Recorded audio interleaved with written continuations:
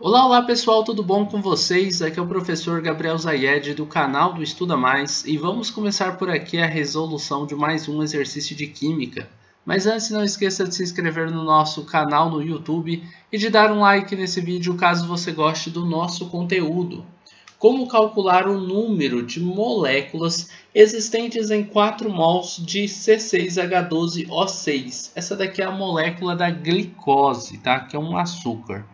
Escrever aqui, glicose. É o seguinte, pessoal, uma coisa que vocês têm que saber para resolver esse tipo de questão é que um mol ele é uma quantidade de matéria que equivale a uma quantidade de partículas de 6 vezes 10 elevado a 23 partículas. Essa partícula depende do que, que a gente está trabalhando, tá? Um mol pode ser de qualquer coisa. Poderia dizer assim, ah, eu tenho um mol de canecas. Quantas canecas são, professor? São 6 vezes 10 elevado a 23 canecas. Eu tenho um mol de gatos. Quantos gatos são, professor? São 6 vezes 10 elevado a 23 gatos. Uma quantidade extremamente absurda, tá? Esse número aqui é imenso aproximadamente ali 600 sextilhões de partículas, tá? Então, se eu tenho um mol de moléculas de glicose, um mol de glicose, a gente está falando de 6 vezes 10 elevado a 23 moléculas de glicose. Ah, mas por que moléculas? Pessoal, a glicose é uma molécula. Se você tem essa quantidade de glicose, você está falando da quantidade de moléculas de glicose. Simplesmente isso. Igual se eu dissesse que eu tenho um mol de canetas, eu tenho 6 vezes 10 elevado a 23 canetas. Ah, mas por que caneta? Ué, gente, porque caneta é caneta. E, mole e glicose é um tipo de molécula. E é por isso que é molécula, tá? Eu poderia estar falando de um mol de átomos? Poderia. Mas como a glicose é uma molécula, a gente não vai falar átomos aqui, a gente vai falar moléculas. Tá? Isso daqui confunde muita gente. Porque tem muita gente que vê, ah, eu vi numa questão você fazendo um mol e falou que é 6 vezes 10 elevado a 23 átomos. Nessa questão você está dizendo que um mol são 6 vezes 10 elevado a 23 moléculas, mas você tem que interpretar a questão. Nessa questão a gente está trabalhando com uma molécula, por isso a gente fala que é moléculas. E na outra questão eu estava trabalhando com átomos, por isso a gente falou de átomos, tá? Então eu sei que eu fiquei meio repetitivo aqui nesse início de questão, mas é para você entender que um mol é basicamente essa quantidade independente do que, que você está trabalhando, um mol é uma quantidade, tá bom?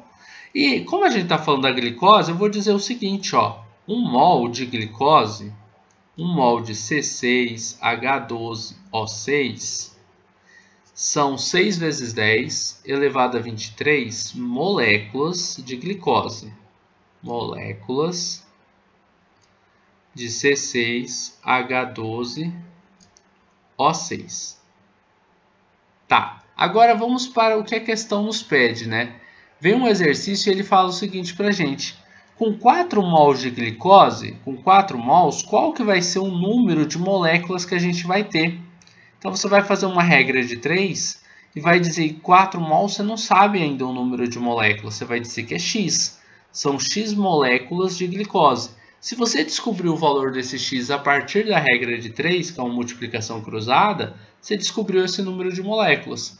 Você vai pegar o x e multiplicar pelo número 1, vai pegar o 4 e multiplicar por 6 vezes 10 elevado a 23. Aí você vai separar essas duas multiplicações por uma igualdade, tá? Você vai ter aqui ó, x vezes 1, tá? que é igual a 4 multiplicado por 6 vezes 10 elevado a 23. x vezes 1 vale x. 4 vezes 6 é 24, né? Então, você tem 24 vezes 10 elevado a 23. Observem que eu multipliquei só esses dois valores e mantive o vezes 10 elevado a 23 aqui na resposta, tá bom? Então, 24 vezes 10 elevado a 23 é o número de moléculas de glicose que a gente tem, de C6H12O6 que a gente tem. Belezinha, pessoal? Basicamente é isso. Nós terminamos por aqui a resolução de mais um exercício de Química. Eu espero que vocês tenham gostado dessa videoaula. Espero que tenham compreendido o passo a passo da resolução dessa questão. E se gostaram do vídeo, não esqueçam de deixar um like aqui e de compartilhar o link desta aula em suas redes sociais para que seus amigos também possam conhecer o canal do Estuda Mais. Assim vocês poderão estar ajudando seus amigos e com certeza estarão ajudando aqui no crescimento do nosso canal. Forte abraço, até a nossa próxima videoaula e tchau, tchau!